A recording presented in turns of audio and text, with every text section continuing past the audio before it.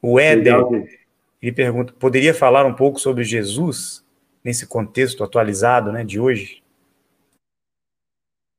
Olha, Jesus, é, as pessoas se preocupam muito né, né, com essa situação, com a presença dessa divindade, vamos dizer assim, é, que podemos dizer, tirando o mito, tirando o misticismo, é, todo o enredo ou folclore criado em torno do nome Jesus Cristo, é, podemos dizer assim que é uma essência extrafísica que ainda está conosco, que não se foi totalmente. Se foi a parte física, mas a parte consciencial, vibratória, extrafísica, ainda compartilha conosco aqui a sua presença. E muitas pessoas, quando tem uma certa necessidade, ou estão numa fase assim desesperada de sua vida, às vezes até tem uma visão, uma percepção de que está vendo Cristo, um braço dele, uma mão dele, sabe? Como se estivesse sentindo ele ali. Então, da mesma forma que outras é, figuras é, é, angelicais também. Mas se tratando de Cristo, uh, até ficou a, o ditado lá, a promessa, eu voltarei dois mil anos depois. Nós já passamos mais de dois mil anos da ida dele. Então, e ele voltou, está no meio de nós. Olha, assim, com certeza nós temos uma presença divina em nosso meio. Claro que não todo dia, toda hora para todas as pessoas, mas em momentos muito interessantes se manifesta para muitas muitas pessoas, muita gente, principalmente em seus momentos de orações ou de necessidade, porque cada um, conforme a sua crença, busca por uma frequência maior, por uma resposta divina, que é Cristo, Deus, os santos e santos, conforme a sua crença, né? Então, essa resposta, que também está dentro de interior de cada um, ela pode ser dada. E se ela estiver sincronizada, sintonizada com essa energia crística, sintonizada com essa energia crística, ela terá resposta, sim. Porque se eu faço uma pergunta, se eu questiono, se eu fico bravo com o mundo, com Deus, com o destino, por que isso? Por que assim? Por que assado? Deus não olha por nós tal.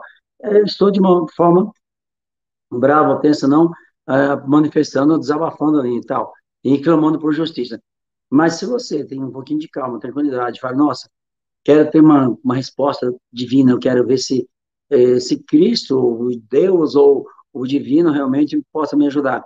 Então, você se conecta, você sai dos paradigmas, você sai dos preconceitos, então você sai das imposições, dos folclores, das imagens criadas pelo ser humano, dada para nós como mostrada para nós como Deus, como Cristo, como anjos e santos e santas, e realmente você sai disso aí, você joga fora, vira a página e realmente você busca uma frequência energética, uma frequência crística.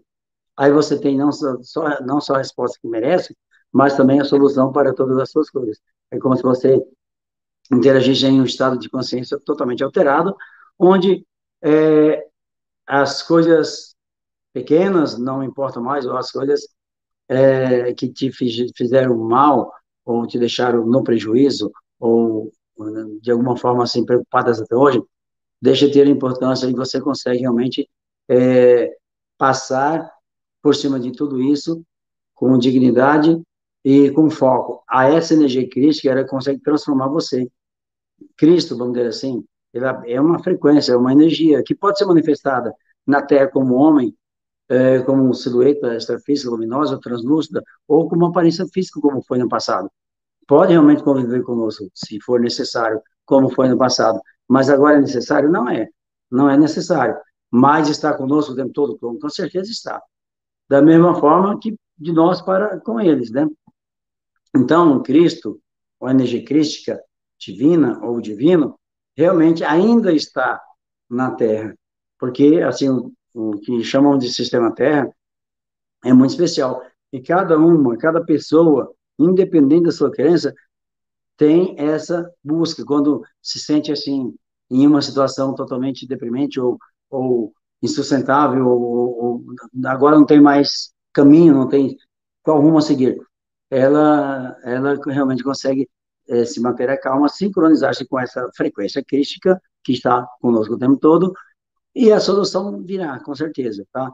Então, necessita só calma, tranquilidade e foco. Não pode ter desespero de maneira alguma. Então, realmente, a resposta virá. Então, Cristo foi embora? Não, não foi embora. Cristo se desfez a parte física dele, mas a energia crística ficou. Ele prometeu isso aí. E está no nosso, em nosso meio. Mas não para todas as pessoas.